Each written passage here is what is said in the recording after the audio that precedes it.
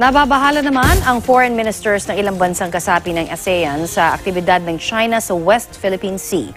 Ayon sa foreign minister ng Singapore na chair ng ASEAN ngayong taon, nagdulot ng pagkasira ng tiwala at kumpiyansa ang ginawa ng China. Pinalala rin umano nito ang tensyon at pinahina ang kapayapaan at seguridad sa rehiyon.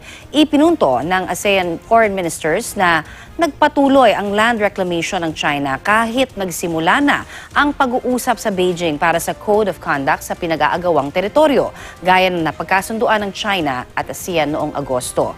Nanawagan ng ASEAN foreign ministers na iwasan ang mga aktibidad lalo pang magpapalala sa sitwasyon. Dati nang itinanggi ng China na nagsasagawa ito ng militarisasyon sa South China Sea. Pero noon pa man, inaangkin na nila ang mga teritoryong may claims din ang Pilipinas.